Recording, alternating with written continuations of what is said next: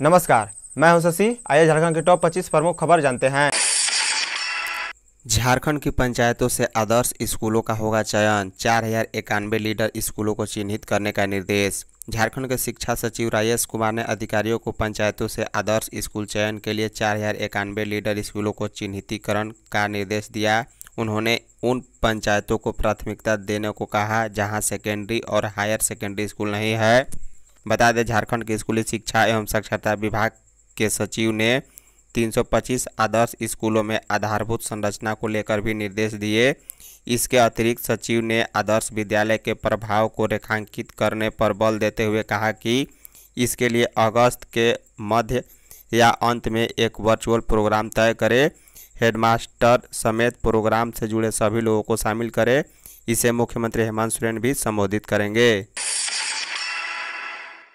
28 जुलाई से मौसम साफ़। झारखंड में सामान्य रूप से मानसून सक्रिय है। मौसम वैज्ञानिकों की माने तो 25 जुलाई को अधिक बारिश नहीं होगी। वहीं 26 जुलाई को बारिश होगी और 27 जुलाई को भारी बारिश हो सकती है। 28 जुलाई से मौसम साफ़ होगा। मौसम विभाग ने अपने पूर्वानुमान में बताया है कि 28 जुलाई से मौसम साफ़ हो सकता है। आईसीएसई दसवीं बारहवीं का रिज़ल्ट जारी, झारखंड में 100 फ़ीसदी विद्यार्थी पास।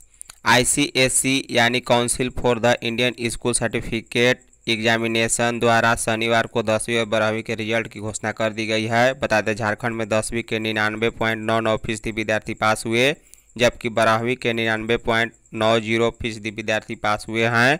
बता दें, झारखंड में दसवीं के तेरह हज़ार छः सौ इकतालीस विद्यार्थी थे। वहीं बारहवीं के अड़तालीस सौ तेईस विद्यार्थी थे। आज से सावन शुरू, घर बैठे करें पहाड़ी बाबा का ऑनलाइन दर्शन। कोरोना के कारण रांची के पहाड़ी मंदिर में इस वर्ष भी सावन में भक्तों के प्रवेश पर पाबंद रहेगी। हालाँकि श्रद्धालु यूट्यूब और रांची पहाड़ी की वेबसाइट पर हर दिन लाइव पूजा देख सकते हैं। आपको बता दें कि रांची के पहाड़ी मंदिर में सुबह साढ़े चार बजे से पूजा का लाइव प्रसारण शुरू होगा, जो रात आठ बजे तक जारी रहेगा।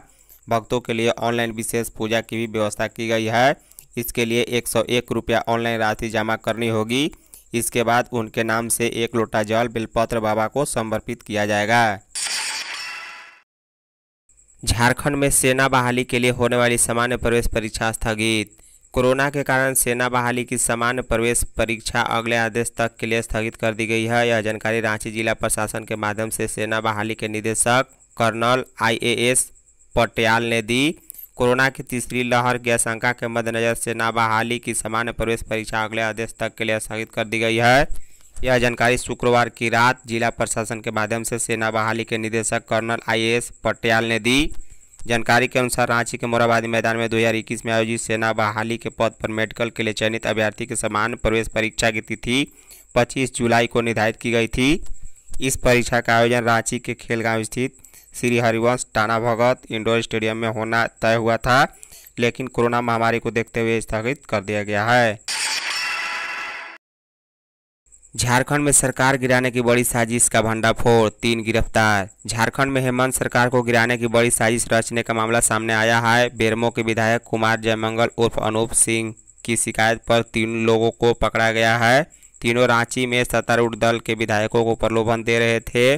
कांग्रेस विधायक अनूप सिंह ने इस मामले में कोतवाली में एफआईआर दर्ज कराई है। बता दें, रांची के लाइन ट्रैंक रोड स्थित एक प्रतिष्ठित होटल से तीनों संदिग्धों को हिरासत में लिया गया था। इसके बाद उनसे पुलिस की पूछताछ जारी थी। उन पर राजनीतिक साजिश रचने का आरोप है। झारखंड में सरकार गिराने की साजिश पर सांसद निशिकांत का तंज। झारखंड की राजधानी रांची के बड़े होटलों में शुक्रवार देर रात स्पेशल सेल ने ताबड़तोड़ छापा मारा है, जिसके बाद बीजेपी के सांसद निशिकांत दुबे ने इस पूरे मामले पर तंज कसा है।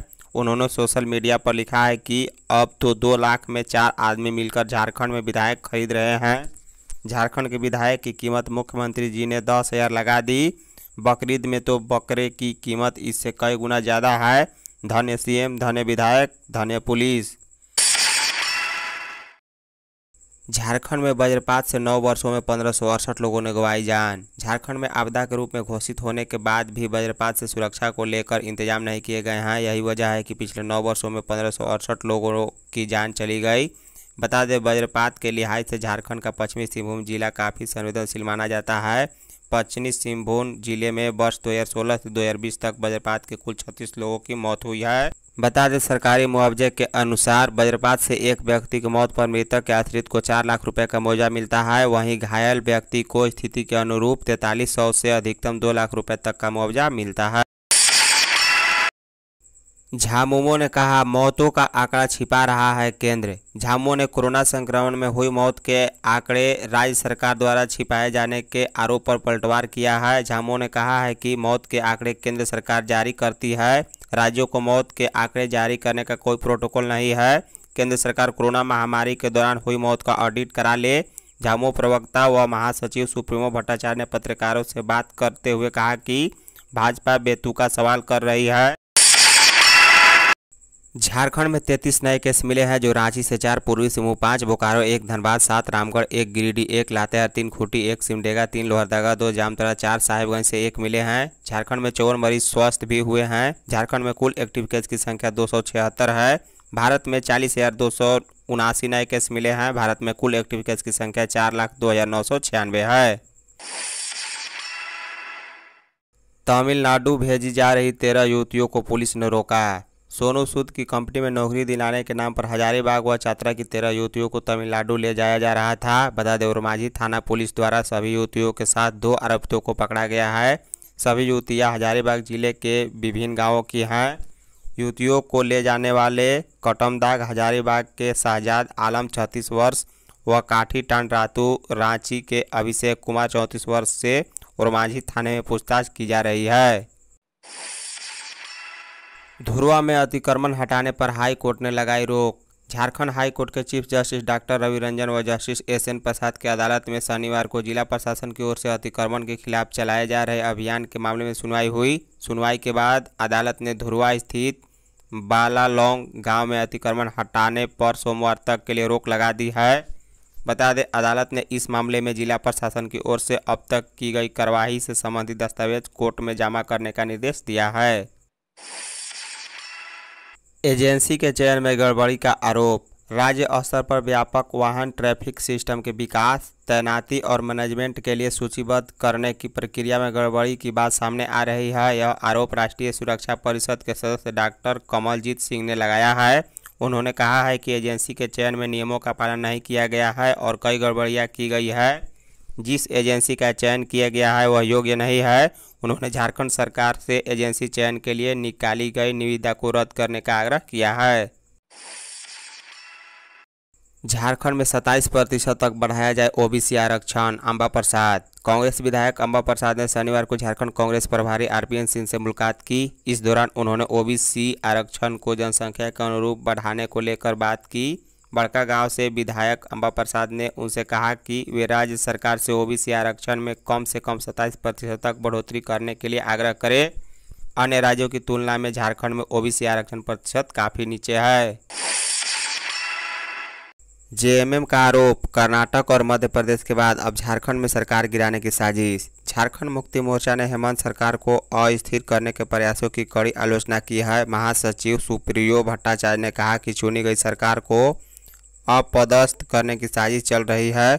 उन्होंने भाजपा पर निशाना साधते हुए कहा कि बेरमो और दुमका उपचुनाव के दौरान ही भाजपा के प्रदेश अध्यक्ष दीपक प्रकाश ने सार्वजनिक तौर पर कहा था कि सरकार गिर जाएगी। उन्होंने कहा कि जिस प्रकार भाजपा ने कर्नाटक और मध्य प्रदेश में सत्ता हासिल की, उसी तरह उनका अगला लक्ष्य झारखंड नज़र आ रहा है।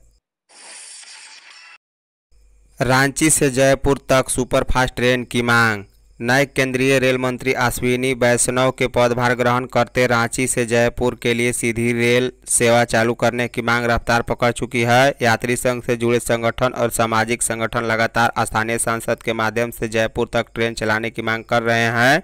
इस संबंध में राज्यसभा सांसद महेश पोदार ने भी पूर्व रेल मंत्री पीयूष गोयल से मुलाकात की थी और पत्र भी भेजा था। राज्य को मिली दो लाख नवासी हज़ार एक सौ पचास डोज। केंद्र सरकार की ओर से शनिवार को राज्य सरकार को टीके की दो लाख नवासी हज़ार एक सौ पचास डोज उपलब्ध कराई गई। बता दें, केंद्र से उपलब्ध कराई गई कुल दो लाख नवासी हज़ार एक सौ पचास डोज में कोवैक्सीन के पैंतीस हज़ार पाँच सौ सत्तर डोज, जबकि कोविशील्ड की दो लाख तिरपन हज़ार पाँच सौ अस्सी डोज शामिल है। बता दें कि राज्य में कोवैक्सीन की डोज समाप्त हो चुकी थी।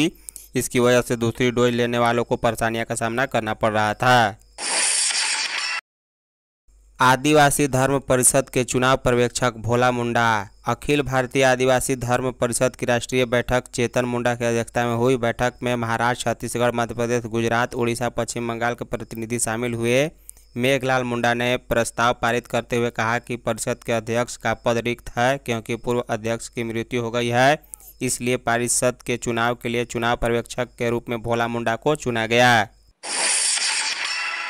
सीएनटी एक्ट में थाना की बाध्यता समाप्त करने के लिए ज्ञापन। सीएनटी एक्ट में थाना क्षेत्र की बाध्यता समाप्त करने की मांग को लेकर आदिवासी संगठनों ने शनिवार को ज्ञापन सौंपा। ज्ञापन ट्राइबल एडवाइजरी काउंसिल के सदस्य सह विधायक बंधु तिर्की को सौंपा। सौंपे गए ज्ञापन में चार सूत्री मांग भी की गई। इसमें आदिवासी समुदाय के बीच सीमित भूखंड की खरीद करने के लिए सीएनटी एक्ट में थाना क्षेत्र को खत्म कर पूरे प्रदेश के लिए अनिवार्य बनाने ज़मीन की खरीद बिक्री में आवासीय और व्यवसाय के लिए एक सीमा तय करने के लिए कानून में संशोधन करने, आदिवासी पुरुष द्वारा गैर आदिवासी महिला से विवाह करने के बाद उस महिला को अनुसूचित जनजाति का लाभ नहीं देने लालू यादव के परिवार एक बार फिर टेंशन में। लालू यादव के परिवार एक बार फिर से टेंशन में है। बता दें, टेंशन चारा घोटाला के एक मामले में डोरंडा कोषागार से अवैध निकासी केस में दोबारा सुनवाई को लेकर है। लालू कुछ दिन पहले ही करीब तीन साल तक जेल में रहने के बाद रिहा हुए हैं। फ़िलहाल राजद अध्यक्ष लालू प्रसाद यादव अपनी बड़ी बेटी मीसा भारती के दिल्ली स्थित घर स्वास्थ्य लाभ ले रहे हैं। धन्यवाद।